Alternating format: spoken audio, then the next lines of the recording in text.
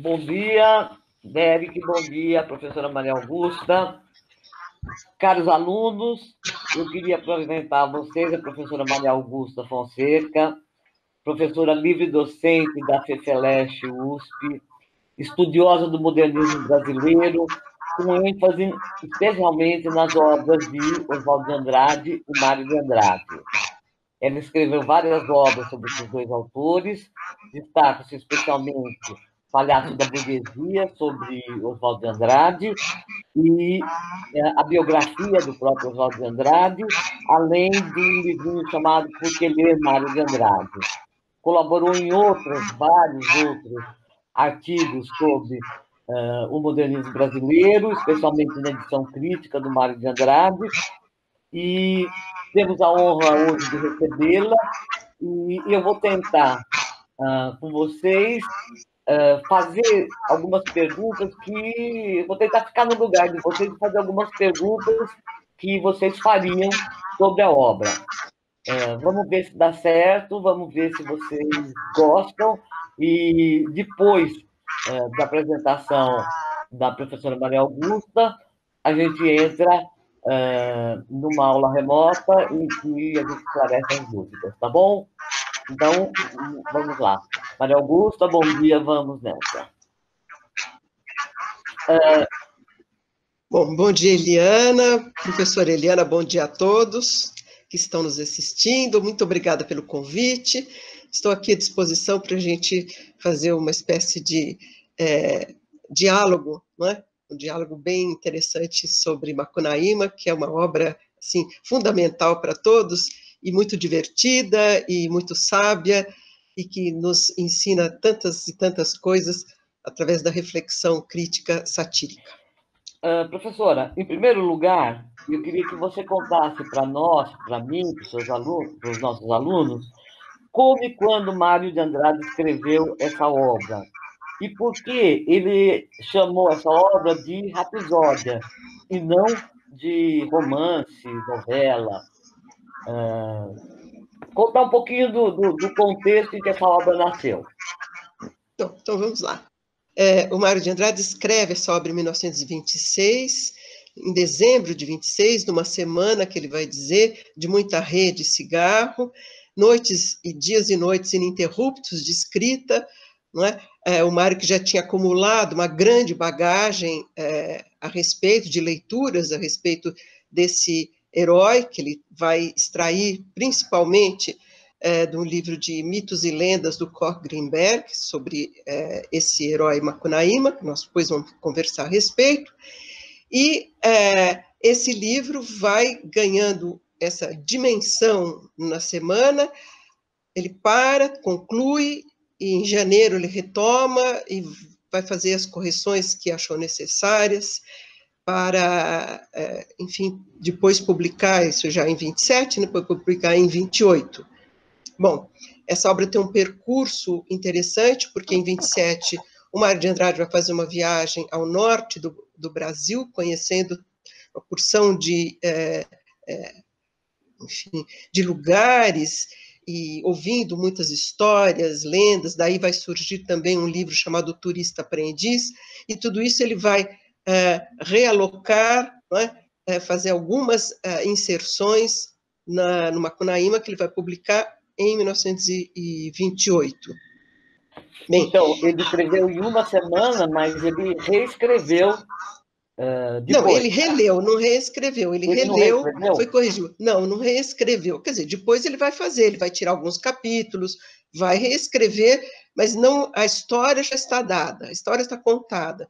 Uma coisa ele tirou por sugestões de amigos, outros por ele mesmo, outros porque é, ele achou que se encaixava melhor na, na sequência é, do livro, enfim, ele foi, vamos dizer, lapidando, não é?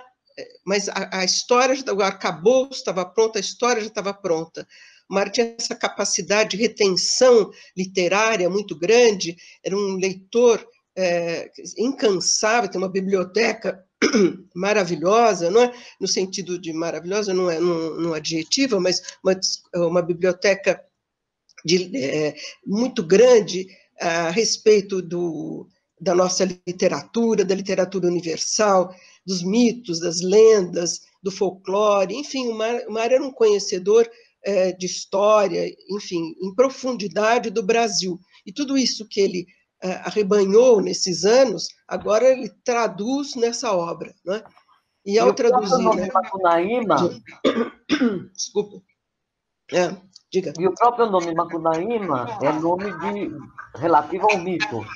É, do mito é, é o mito Macunaíma, que ele vai extrair dessa lenda das lendas, dos mitos e lendas coligidos pelo Koch Glimberg, que ele chama é, é, de Roraima, é, from Roraima to ao Orinoco, de Roraima ao Orinoco, né? que ele vai, o Koch Glimberg vai dar esse nome, ele faz essa leitura em 24, Mário, e fica encantado, então, com esse herói. Claro que ele vai transfundir esse herói, ele vai mudar, não é o mesmo do Kogenberg, tem muitas diferenças, né? Esse herói, por exemplo, o Kogenberg, era é, um herói que foi traduzido para os, os é, vamos dizer, as pessoas que iam catequizar os índios, não é?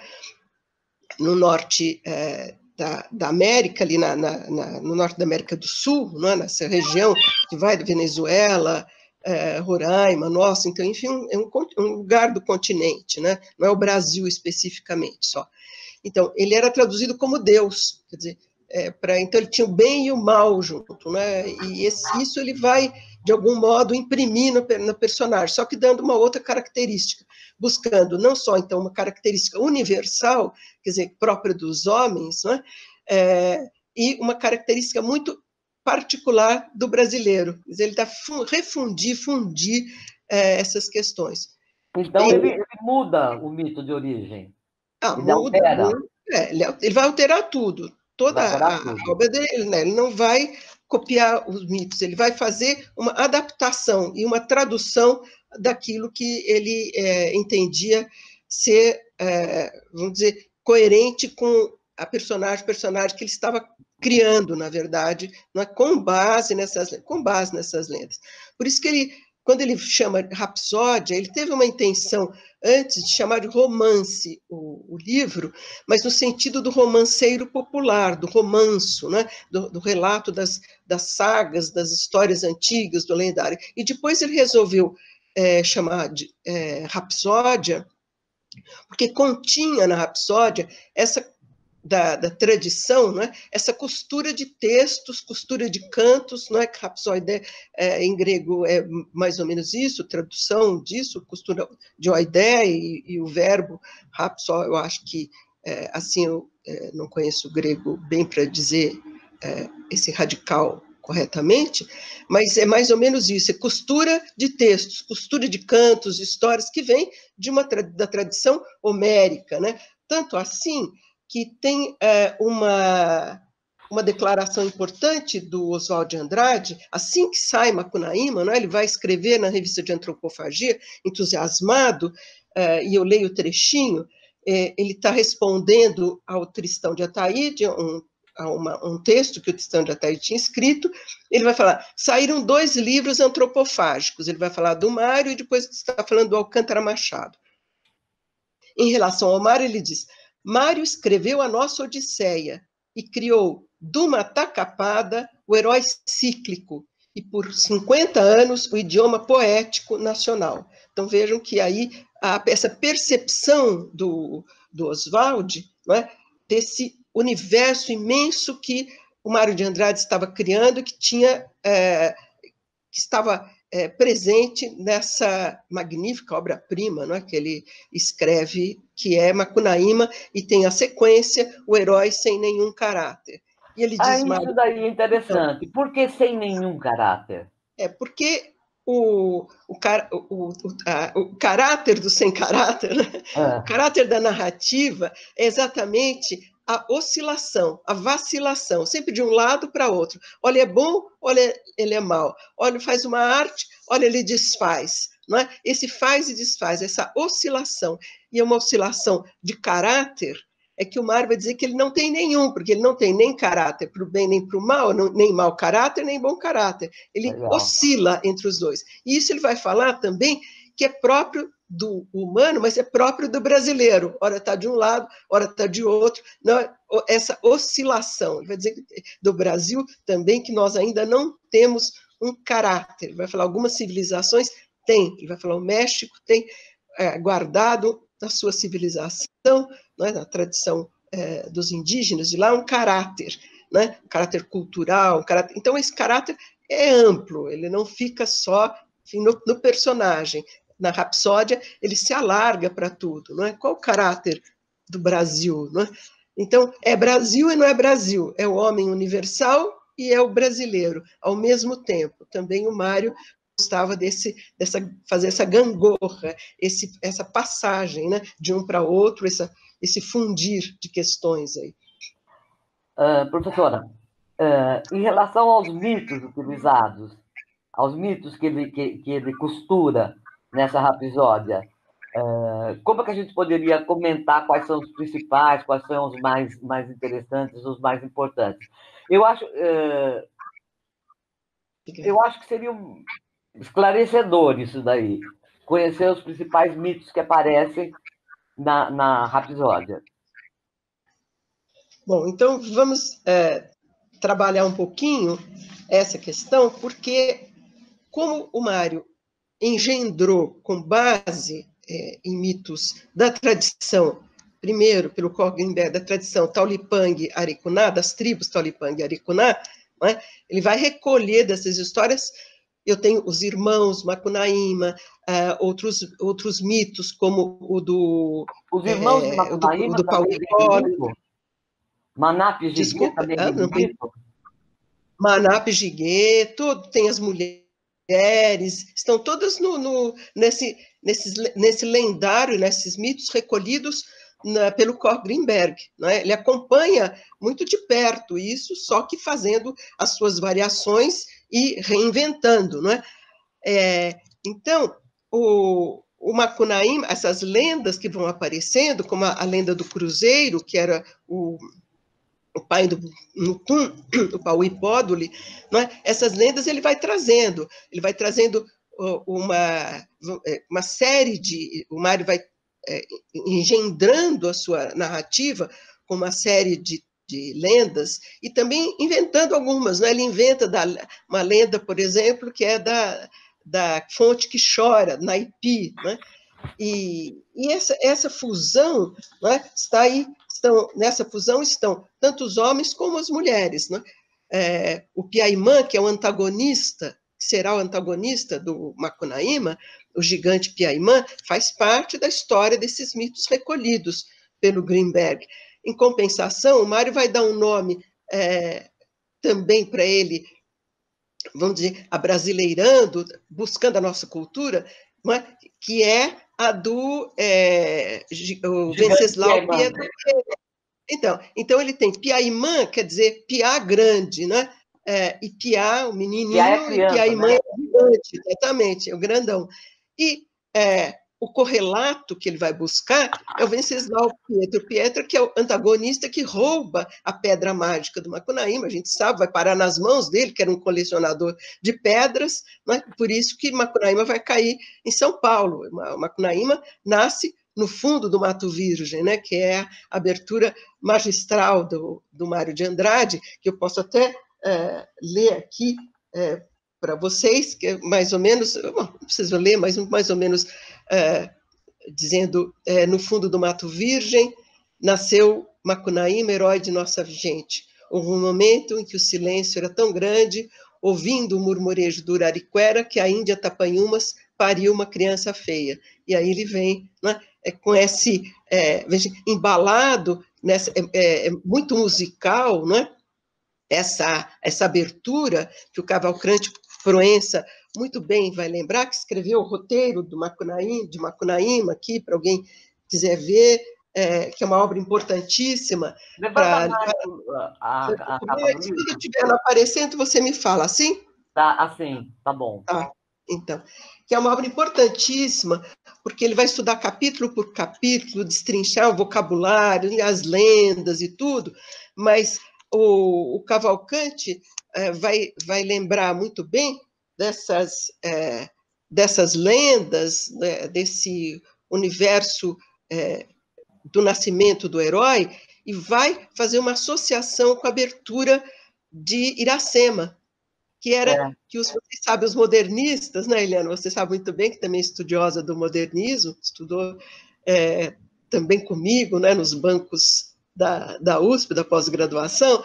Então, a, uma, a abertura de é, Iracema, né? lá longe, muito longe, do céu azul no horizonte, nasceu Iracema, virgem dos lábios de mel. Então, Mário vai aproveitando esse andamento é, literário, esse andamento poético de José de Alencar, né? a, a quem ele dedicou numa primeira, é, num primeiro manuscritos, manuscrito, o Macunaíma, ele põe a José de Alencar pai é, dos, dos, vivos, não é? E depois ele tira. Eles tinham faziam um confronto, evidentemente, com os românticos, é, não pela temática que os românticos trouxeram, eles são importantes nesse sentido, né? De transformação da linguagem, é, de trazer a linguagem popular, coloquial é, para as obras, mas daquilo que tem de ideológico, de exaltação, né? De um, é, nacionalismo ufanista, exagerado, desbordante, né? Em relação ao país, o que, contrariamente, Mário de Andrade vai buscar. Ele vai buscar, como muitos modernistas, não todos, a gente modernista, a gente precisa ir com cuidado, pisar com cuidado, porque nem todos revolucionaram, nem todos é, mudaram é, de uma maneira aceitável, né, sem deixar o ranço ideológico, é, nesse momento, o Mário de Andrade também está fazendo uma, é, quer dizer, é, exercendo um nacionalismo crítico, quer dizer, esse herói, na medida que usa a sátira para trazer o herói, para falar de uma é tragicômico, não é? O herói, ele não é, ele não é cômico, e, e, ele não é totalmente trágico, porque ele é todo o tempo embebido na brincadeira, na diversão, na, no, no espírito, então, é, que ele vai chamar de primitivo, não é? Maria Augusta, vamos aproveitar e dar uma passada pelo enredo, pela organização do enredo. Então, é, o Mário, é, ele vai, eu vou só trazer um, um esboço é, da, das questões pelo seguinte: o Macunaíma morando no Mato Virgem, né, no fundo do Mato Virgem, com a mãe, com a família, que depois é, vai se dissolver com a morte da mãe, com o casamento do Macunaíma com a rainha das Amazonas, com Si, que também é um outro, uma outra lenda, né? Si, a mãe do mato, né? que traduzido para a nossa civilização seria a rainha das Amazonas é, ele se casa, ganha dela a, a, essa pedra mágica, que era Muiraquitã, ele se transforma num príncipe também por força, sempre por força da, da, da, lenda e do andamento narrativo, vão acontecendo histórias que já já eu explico um pouco dessa, dessa construção mais interessante do que o relato inteiro, né? Mas enfim, só para dizer que esse esse Macunaíma em, algum, um momento do, do, relato, ele perde a Moiractã, ele perde a Moiractã e ela vem parar em São Paulo. E como tinha esse gigante Piaimã, o Piaimã, para não falar o, o Venceslau Pietro Pietra, que morava em São Paulo, na Rua Maranhão, né, num palacete da Rua Maranhão, ele era um colecionador de pedras. E o Macunaíma fica sabendo e vem para São Paulo. É aí que ele vai chegar na civilização, na dita civilização, né? É, que vai, de certo modo, ser o começo do fim da, de Macunaíma, né? porque todo, todo aquilo que ele trazia eh, da, da, da sua cultura vai ser é, esfacelado não é? pelo contágio que ele terá com a, a, essa, no, esse novo meio e pela adaptação que ele vai querer fazer. Ele não consegue se adaptar nem aqui nem lá. Feito isso, então tem essa passagem longa de Macunaíma e seus irmãos pela cidade, não é? pela cidade grande, São Paulo, ele, ele vai para o Rio de Janeiro, depois volta, mas, enfim, não consegue ir para a Europa, não consegue, é, acaba não indo, é, acaba, em, certo, em certa medida, que esse é um capítulo importante, em que ele vai, é, é vai tentar fazer uma tentativa de casamento, aliás, a Vei, a Sol, né? Vei que é, é feminino, Sol que é feminino nessa mitologia indígena, como o Mário coloca, ela vai propor a Macunaíma o casamento com as filhas dela, não é? uma, uma estrutura poligâmica, não é? com as três filhas. E o Macunaíma que vai concordar, mas é, vai descansar na, na, numa, numa barquinha e tal, e seja, se encanta com uma portuguesa, é, vendedora do cais do porto, vendedora de peixe do cais do porto, e vai se amaziar, vamos dizer assim como ele usa, né, com essa portuguesa, e vê e fica furiosa, descobre, e aí vai renegar o herói. Quer dizer, o herói não quis se juntar à sua cultura, o herói preferiu outra cultura, e por isso ele acaba não se casando, evidentemente, com a portuguesa, e criou-se um conflito, criou-se aí uma, uma tensão que vai seguir até o final. Né? Então, na, né, fala, ele é, é, falar. Não, é, você já está falando do herói, que é um herói tão característico, mas ele tem características. Ah, certamente.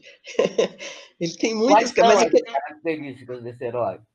Não, esse herói, é assim, a característica não é característica. Esse herói, ele, ele mente, não é? é depois ele desmente, é, ele, ele, gosta de, é, ele gosta de brincar, né, no sentido amplo do termo, é, inclusive no, sentido sexual do termo, não é? e trai os irmãos, por exemplo, com as cunhadas, não é? vai atrás das mulheres, é, ele, vamos dizer, ele vai, ele ajuda, às vezes, uma formiguinha, ao mesmo tempo é, é, massacra é, uma outra, não é? Ele é ajudado também, porque ele ajuda a formiguinha, ele é ajudado por ela. Ele é então, covarde, ele, mas ele, ele enfrenta o gigante. Ele é covarde e não é covarde, não é? Ele, ele, ele põe os irmãos na frente, e, e, assim vai. Então, tem todas as características, vamos dizer, acirradas do homem, né?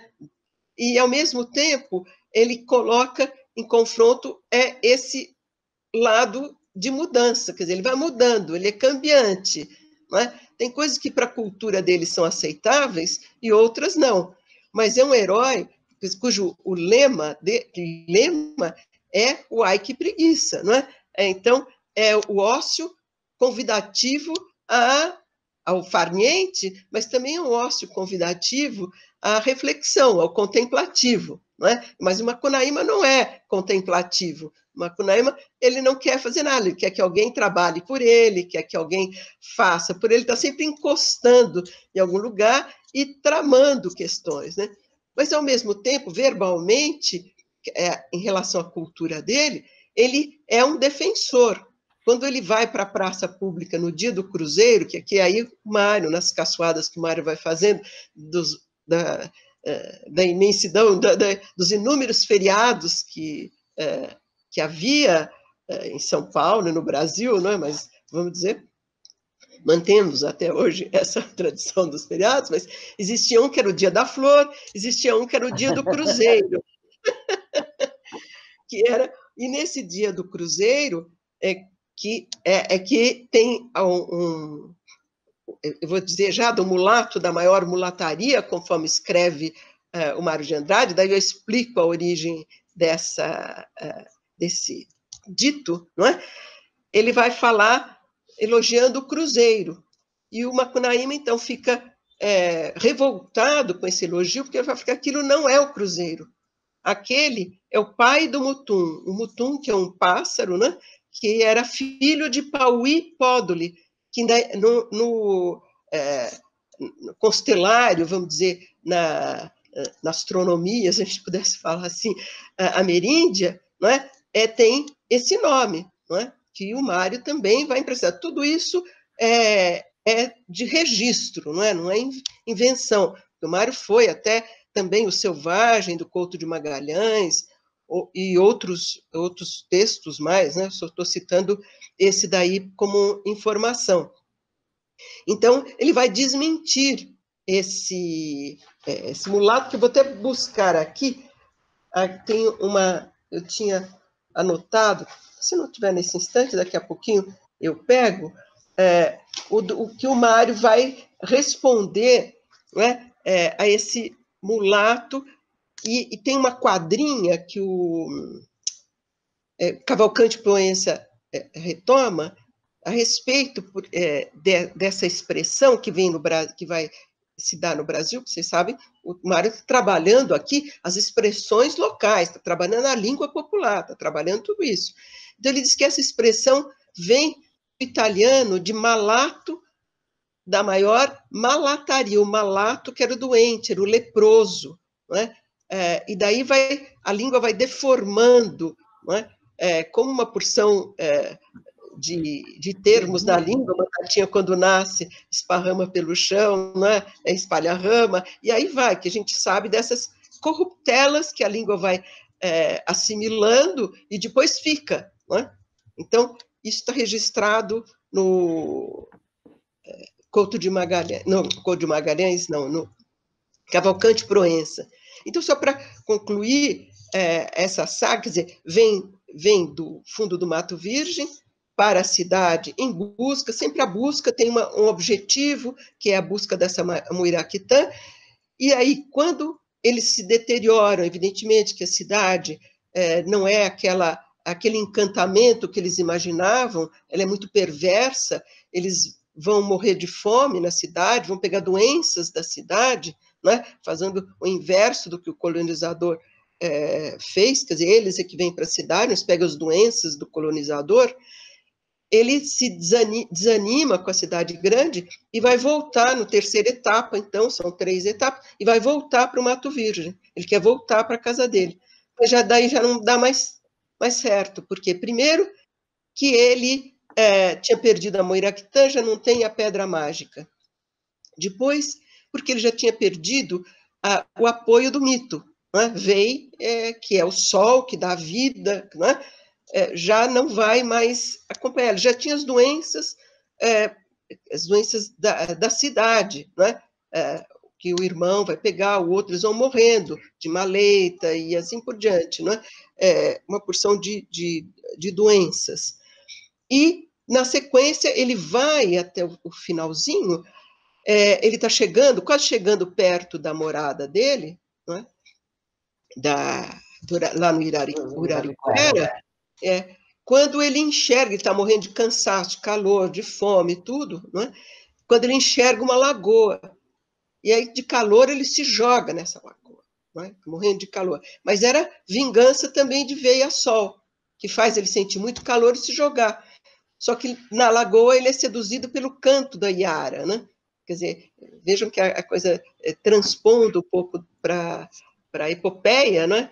que é o canto que é, Ulisses se amarra para escutar o canto da sereia, ali no lago ele vai entrar e vai ser encantado pela Uiara, né? pela Iara, como ele vai dizer, e com isso ele é comido pelas piranhas. Ele, como ele começa a ser comido, as pernas dele sai correndo da água, se dá conta, e perde uma perna. Daí ele, ele vai dizer, desanimado, ele diz: Não vim no mundo para ser pedra, que também é tirado de uma lenda que o Couto de Magalhães conta. Ele inscreve isso na pedra, né? como essas inscrições que a gente tem, que se encontra no Piauí, no Piauí em outros lugares, claro, é, do Brasil, que tem essas inscrições é, ancestrais nas pedras, ele vai registrar como índio que era. E aí ele trança um cipó de mata-matar e vai embora para o céu, levando ele carregando, que ele carregou da civilização alguns objetos, né? Uma gaiola, galinha legoa, é, um relógio, Patek Philippe, não é? Então, as marcas da civilização que ele vai levar e que de nada adiantam para a vida dele. Mas, enfim, só para contar, você perguntou dos estágios, só para trazer esses estágios é, da vida dele, né? E para lembrar, então, agora eu queria até é, falar um pouquinho desse modo de construção. Então, então, isso daqui nós temos o relato, essa sequência, o que acontece, depois o que vem. A Gilda de Melli Souza, num belíssimo texto dela, é, é curto e, e, muito incisivo, quer dizer, um livrinho, mas é um livraço, né, nesse sentido, chama Tupi e o Alaúde, ela vai dizer o seguinte dos modelos é, do Macunaíma, é, que o Mário usou para o Macunaíma, que eu acho bastante importante. Ela vai questionar, vai dizer que não é colagem de texto, porque ele usa um arsenal, uma imensidão de, de, de textos, de histórias, de relatos, de falas, é, de fragmentos de música e assim por diante, não é? De ritos religiosos, amacumbos, ritos indígenas, enfim, é uma, é, é, é, um, é uma enciclopédia, né? Macunaíma. E a Gilda, então, vai dizer que, então, por isso não é colagem de material, também não é bricolagem, quer dizer, tirar material de outras fontes não é, aparentadas. Ela vai dizer que é uma suíte musical, é? lembrando, claro, a questão da rapsódia. Então, para ela, o livro não partiu de modelos literários pré-existentes. Segundo a Gilda, estou citando as palavras dela, mas partiu de transposição dos processos básicos da música ocidental, comuns tanto na música erudita como na criação popular. Isso a gente pode, quer dizer, se os alunos, se vocês querem investigar isso, tem muito em né, que vocês vão aprender muita coisa, muito da nossa tradição, do folclore, é, dos elementos é, populares e dos elementos cultos misturados. Né? Ela vai dizer que essa mistura dos dois é o princípio rapsódico da suíte, né?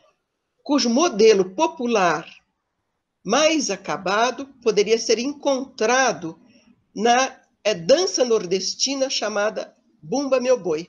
Então, a dona oh, vai associar a estrutura, por isso estava falando de estrutura, a estrutura do Macunaíma ao modo como é, é organizado, estruturado, né? é, o Bumba Meu Boi.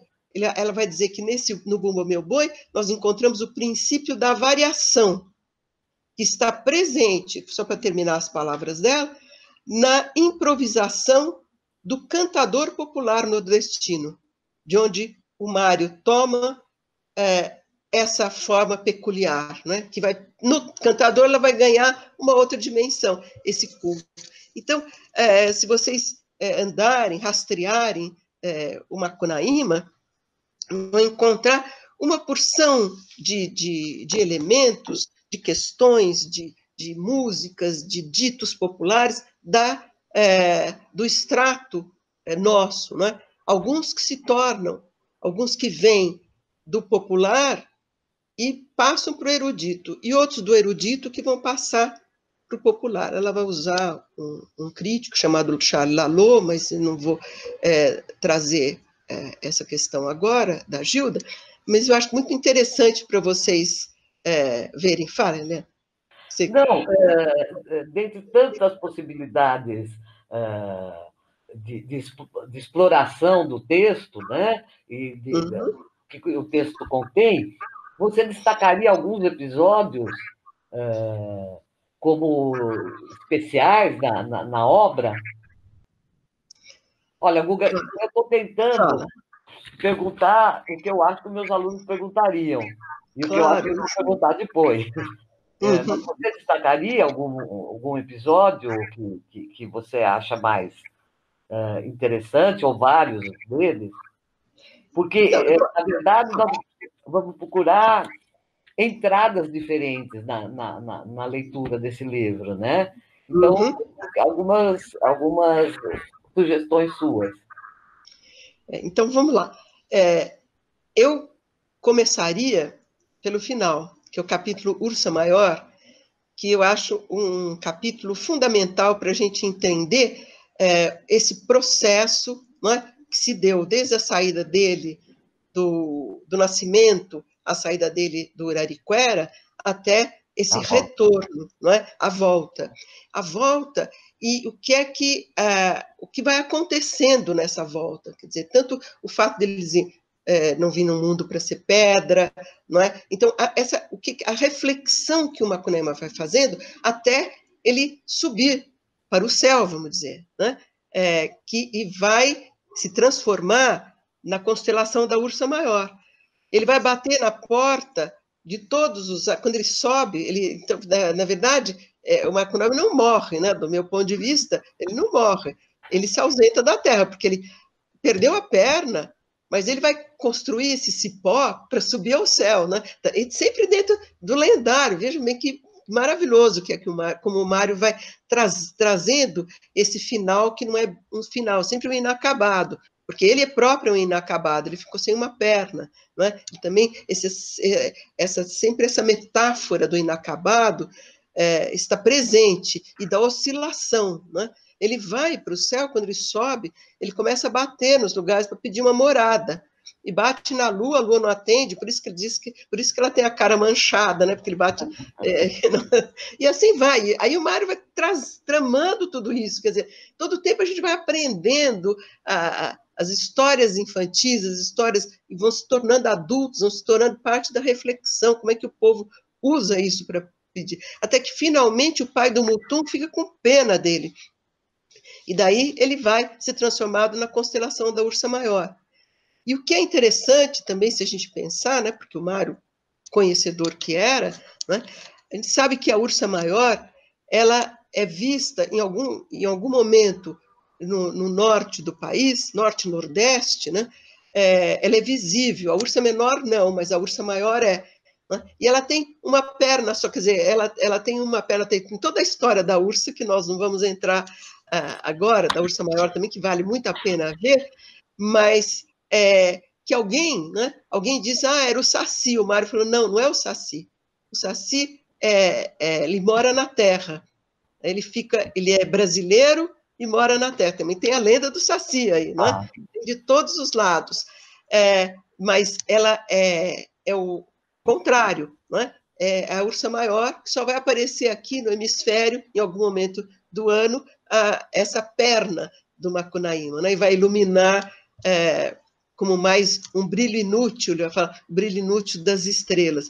Então, você tem uma convergência aí de, de lendas, de histórias, de leitura do Brasil que vão, é, de algum modo, canalizando, se afunilando não é?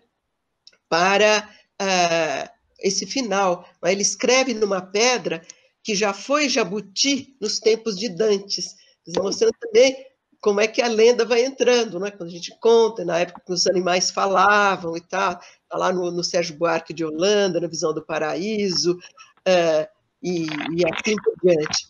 Então, é, o Mário de Andrade, em uma, uma estrofe muito interessante que eu gostaria de ler aqui para vocês, é, depois eu falo dos outros capítulos que eu gosto muito, é, ele é, também foi coligido pelo Cavalcante Proença, ele vai dizer que o Mário de Andrade era muito opinativo, né? É, e o Mário de Andrade dizia que ele gostava muito de uma estrofe do Martim Fierro, que é um, também um marco é? na, na, literatura uh, latino-americana e argentina ali, não é? Então, é, eu vou ler esse trechinho, porque é, é muito bonito. Eu he conhecido cantores, Tá fácil de entender? Que era um gosto escuchar, mas não quisieran, não, eh, não querem opinar. Quer dizer, gostar, mas eles não querem opinar, não é verdade? Já se divertem cantando, pero eu canto opinando, que é esse modo de cantar. Então, é isso daí. O Mário era, era é, gostava de trazer as questões, discutir as questões, falar. Por isso, e um outro, é, no lado oposto, já falando do contraditório, que eu gosto muito de trabalhar assim, né, é, nós temos a Carta para as Icamiabas, que é o capítulo medular de Macunaíma, entre a, a saída, a, a estada dele na cidade. Cidade, cidade e selva. Cidade e selva, exatamente e porque ele está sem dinheiro. É o momento que o Macunami está sem dinheiro nenhum, gastou tudo que tinha, os bagos de cacau que ele tinha trazido, as zigarras cheias de cacau, Tietê, né? É magnífica essa viagem que ele vai fazer para chegar é, na cidade de São Paulo, né? Vai falar na Macota, cidade de São Paulo, né? Ele vem pelo Igarapé Tietê. Então a gente que mora aqui vai é, apreciando todas as referências e ao escrever essa carta, ele começa a fingir, fala um, é, é, cheio de fingimentos, ele mal aprendeu português, então é canheço, é a única vez que ele escreve de próprio é, a, a, própria fala, né? O resto ele contou para o narrador, né? Depois eu vou falar para o Rapsodo, depois eu vou falar sobre isso. Mas agora não, ele está escrevendo, a gente não sabe, né? Então, supostamente está escrevendo. E vai escrever de, o português de uma maneira mais canhestra possível, né? E misturando as lendas, misturando as pessoas, chamando é, governantes de gigantes, de mito, né? Olha que, que é, como é moderno, né? então, ele vai, eles acham, ele, tudo ele exalta, não é? Acho massa, vai misturando tudo aquilo que ele ouviu, aquele latinório de, de oitiva que ele tem, tudo, fazendo um pastiche mesmo nessa carta, mas nessa carta tem o outro dístico dele, o, outro, é, outra fala dele importante. Uma, essa que eu já disse, que era o desabafo dele, o desabafo do mito, o desabafo marca do Macunaíma, que é ai que preguiça, e agora um dístico que ele forja, que é pouca saúde e muita saúva, os males do Brasil são. Né? Isso está lá para trás no Gregório de Matos, isso vem no Paulo Prado, no Capistrano de Abreu, isso está de algum modo, aparece, o, o, o, Gregório vai falar milagres do Brasil são, né, num, num texto dele, mas veja como ele vai buscar essa destruição, a saúva, que do meu, no meu entender, tanto é a destruição da lavoura, porque a formiga grande, ele gosta das pequenininhas, mas a formiga grande destruidora da lavoura, mas ao mesmo tempo ela é metafórica, ela é simbólica do poderoso, do homem do dinheiro, não é? essa uva é o Piaimã, é o gigante que tem o poder, que massacra o outro, né? que, que destrói. Então, essa, essa leitura da pouca saúde, que vai estar lá para trás também no Miguel Pereira, na época da, da, da, da devastação aqui também de, de uma outra é, é, peste, né? de um outro vírus que vem, de uma outra peste que se avassala, amarela, né? É, trazida vai saber por quê. Você vê que o Brasil, em tantos anos, né? em, em 100 anos, está um pouquinho para trás ainda da, do Miguel Pereira, então, vamos pôr 100 anos por aí, nada mudou, né?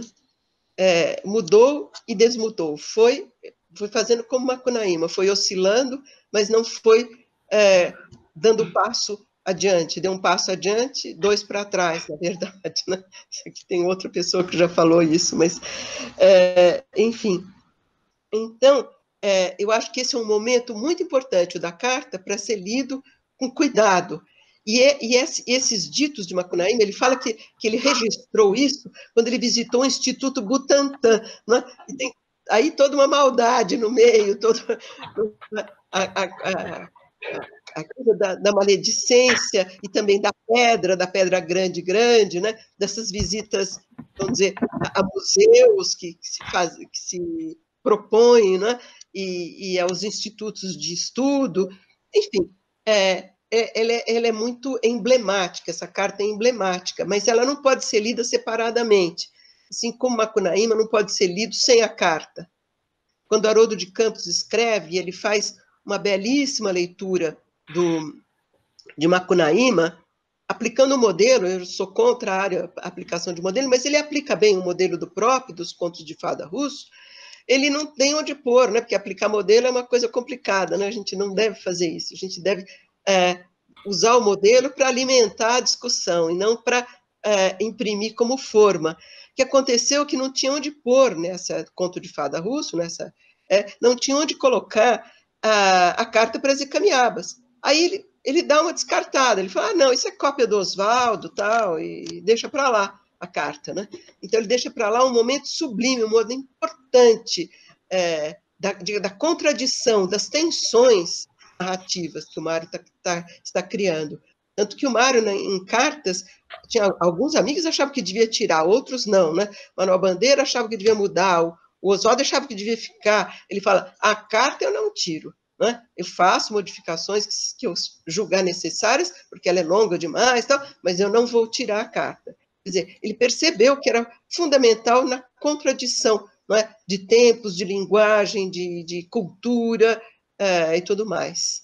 Mas você ia perguntar alguma coisa? Que eu, eu ia perguntar. uh, você falou de vários uh, mitos, né?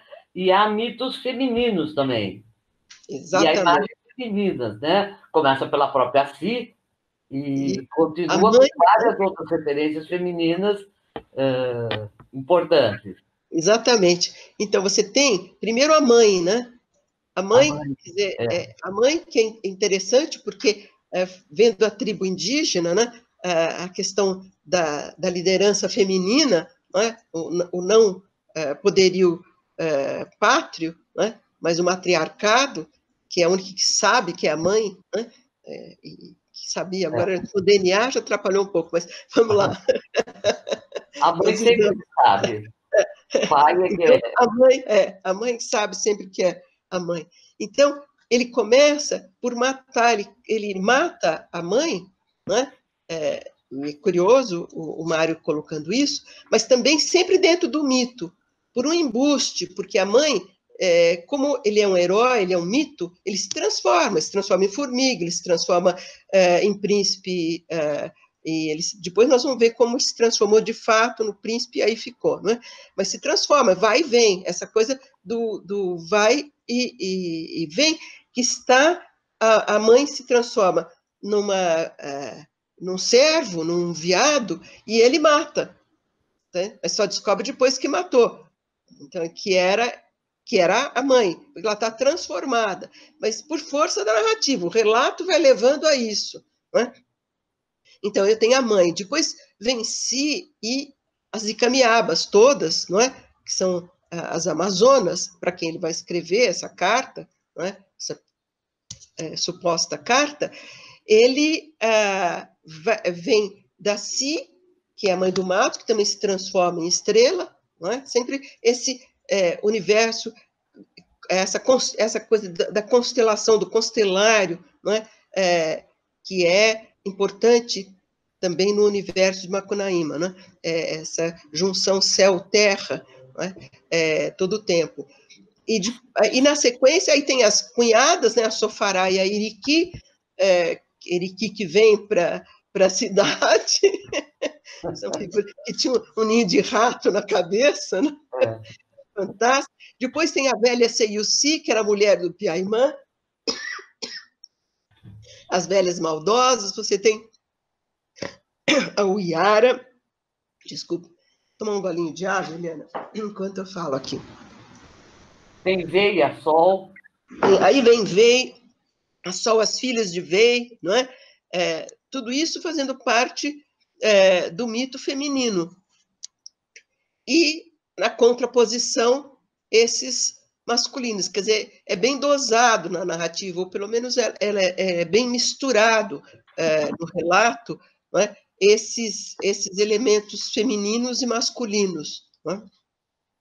que vão. É, a, a, própria Uiara, né? ele vai chamar. A, a, depois a fonte, a fonte que chora, Naipi também, mas essa é inventada pelo Mário, mas tudo bem. Ela, ela... Ah, então há também, há também eh, lendas e mitos que não são corrigidos, que são inventados. É, é, é, o que se sabe é mais propriamente é esse da Naipi. Da Os Naipi. outros ele, ele vai, é, que é a lenda que chora, que é a, a fonte que chora, fonte e depois ele, ele tem outros, mas que ele vai transmutando também, que não, não estão literalmente como é, estão na lenda, o próprio Macunaíma é, uma, é um exemplo disso, e é, desse modo ele vai trazendo, é, vai é, fazendo uma espécie de é, argamassa, de constituindo essa força é, do relato, né? essa, essa quantidade imensa de, de questões, de problemas, de, de tramas é, que vão se sucedendo na narrativa, é uma dentro da outra, uma entrando na outra, é? É, enfim, e é desse modo que ele vai é, trazer. Ele vai trazer também não só lendas ameríndias, né, e nem as já brasileiras, como for, foram é, também registradas pelo Silvio Romero, ele vai trazer as africanas, né, o Silvio Romero também, né, ele vai buscar também no Silvio Romero essas lendas africanas. Então, é, em certo momento, tem um, tem um, capítulo também que é fantástico, que é o da macumba, né? É. é. E aí tem todo o ritual da macumba, e ele vai buscar nessa linguagem, essa repetição, esse canto, né? é, é fantástico. E nesse diálogo, ele traz a modernidade, ele vai chamar para macumba o Manuel Bandeira, né?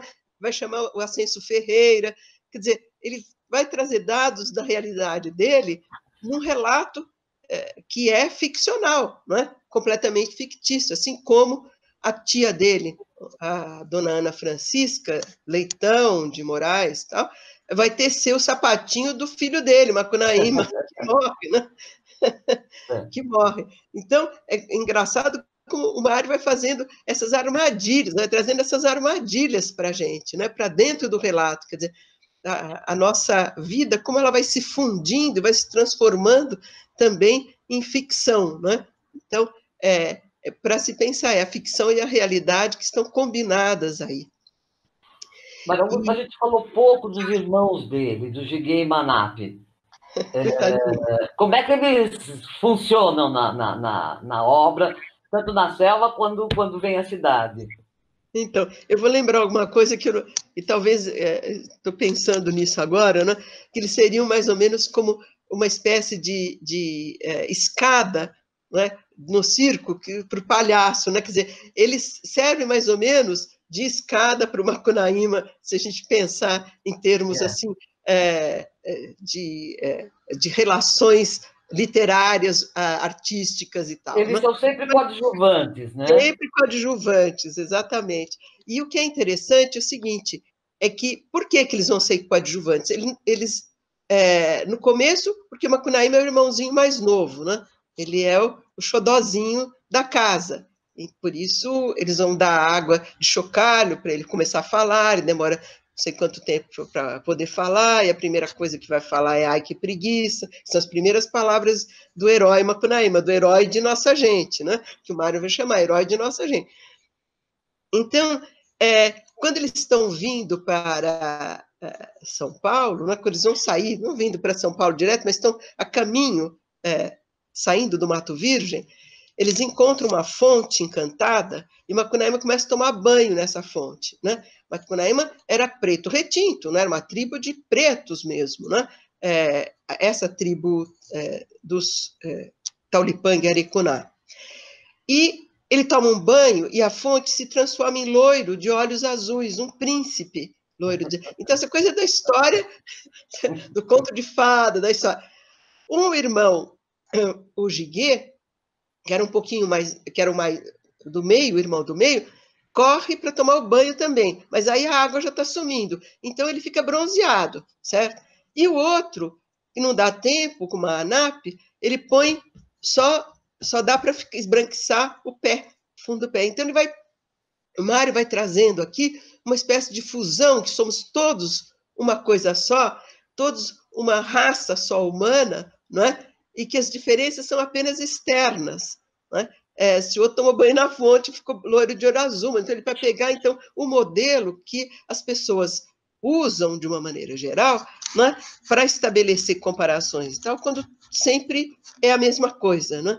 É, e sempre a mesma coisa leva a, um, uma outra questão, que é a da consciência. Né? Então, nesse momento que ele que ele se transfunde em loiro de olhos azuis, ele já está dentro do padrão do colonizador europeu. E por isso ele vai poder fazer mais conquistas do que os outros dois irmãos, que vão servir sempre um pouco de é, escravizados né, é, por ele. Né? Ele sempre fingindo preguiça, o outro vai e caça para ele, e, e assim por diante. Então, vou contar duas coisas que eu acho interessante que estão é, uma antes dele chegar na cidade, né? E outra posterior. Antes dele chegar na cidade, que quer buscar a pedra que perdeu, ele passa pela ilha de Marapatá. E nessa ilha de Marapatá, ele deposita a consciência dele, né? É, no alto de um mandacaru. O mandacaru é um cacto enorme, né? No alto de um mandacaru.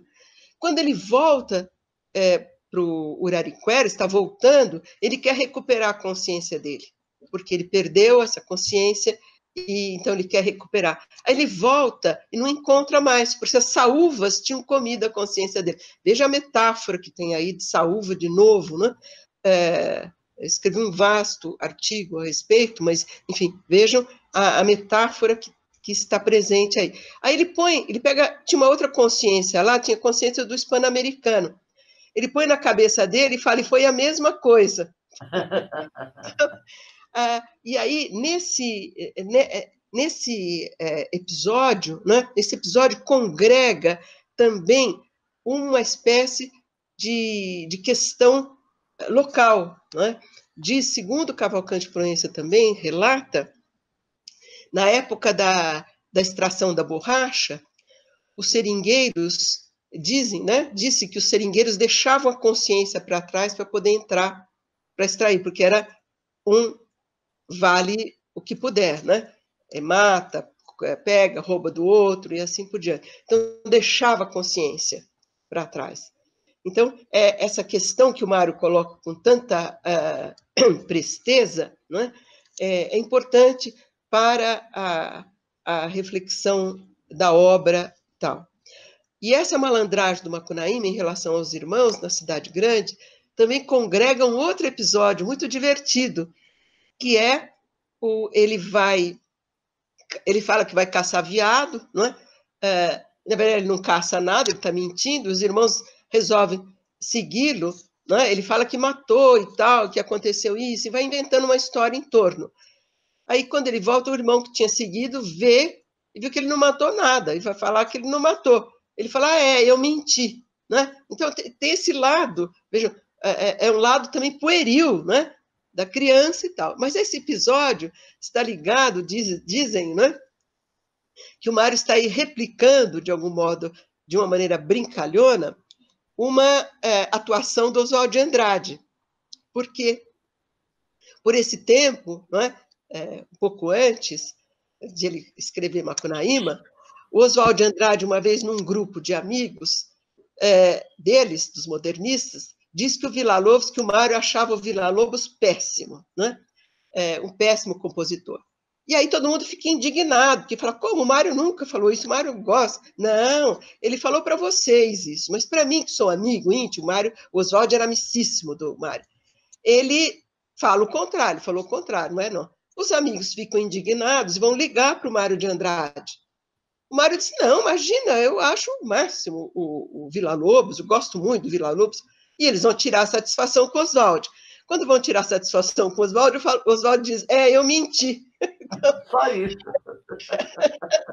Ele replica, de algum modo, essa história na, uh, no Macunaíma. Na caçada do Macunaíma. Na caçada do Macunaíma, exatamente. Bom, nós estamos completando quase uma hora já de, de, de conversa, uh, então vamos uh, caminhando para o fim. É, é, uma hora de conversa. Nossa, como se fala, hein? É, você falamos fala demais. Pelos cotovelos, falamos pelos cotovelos. É, vamos falar um pouquinho dos males que afetaram o herói na passagem dele pela cidade. Quais as penalidades que recaíram sobre o herói? O que ocorreu por conta da sua negação, por conta da negação da sua origem, da sua origem selvagem? Então, então é, vamos dizer que o Macunaíma, é, primeiro, ele vai ficar à míngua, ele não tem dinheiro, ele mora como se morasse numa periferia, né, abandonado. Abandonado, com fome, ele e os irmãos, eles vão pegando as doenças é, da cidade, eles vão pegando todo tipo de, de, de mazela. Né? É, enfim, ele seria, na, na cidade, o favelado, a, pessoa, é, o morador de rua, ele seria é, esse tipo de, de, de ser não é? na, é, na cidade grande, quer dizer, o desprezado. Então, ele não tem condição de vida, não tem condição econômica. É? E, e, os males são muitos, os males que ele vai pegando. Pega as doenças que vai da cachumba, é, todas as doenças, é, vamos dizer, ditas do mundo civilizado, é? eles, eles, vão, eles vão pegando catapora e, e assim por diante. É? Então, é, e isso vai definhando a figura dele. Já de herói, ele não tem mais nada. Né?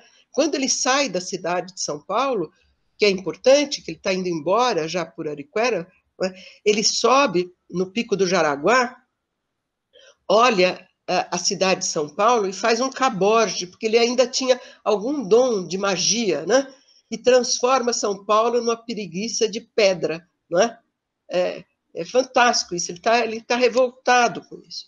Então, é, esse, esse deteriorar da saúde do indivíduo, da, é, do indivíduo relegado a, ao, a, a, indignidade humana, porque é desumano isso, não é? como se relega, como ninguém vai se incomodando, quer dizer, um indivíduo que já não cabe em lugar nenhum, né? quer dizer, é, o país maltratando seus filhos num lugar de muita é, é, exuberância, é, que é a cidade grande, de fonte de riqueza, mas a riqueza para uns e não para a maioria, né? E, e, e isso é, vai levar, então, se você perguntando, né, esses males, é um mal conjunto, né, que vem, vem é, é ele é decorrente de, quer dizer, a pessoa fica doente porque é decorrente de recurso, ela não tem recurso econômico, ela não tem comida, ela vai, então ela vai buscando, ela fica frágil, ela fica, ela submete a, a, a, a, a natureza aquilo que está de mais perverso. Nós estamos vivendo esse tempo aí. Nós estamos vivendo um tempo que se aproxima de, de uma questão perversa, de um vírus que vai entrar em quem está é, ricos e não ricos, só que os ricos vão poder se tratar e os pobres não. Então o vírus vai invadir de uma maneira que vai de novo chegar a essa, é, vamos dizer, é, desigualdade social. Não desigualdade porque ninguém vai, alguns só vão poder usar hospitais, né? Alguns vão se curar porque têm direito ao remédio. Então sempre alguns e outros não. Não que não vá matar é, indiferentemente, porque vírus não, não vê a ideologia, não vê nada disso, ele vai matando, né? Mas quem tem condições vai conseguir se preservar, como nós ficamos em casa, conseguimos nos preservar, né? É, então, é esse mundo que o Mário de Andrade traz, que é tão atual para nós. E como Macunaíma é, se atualiza a cada leitura, porque é, nós, nós temos que é, ler uma obra tanto no, no entorno é, dela da sua construção e daquilo que traz, mas naquilo que ela pode sugerir para a gente de reflexão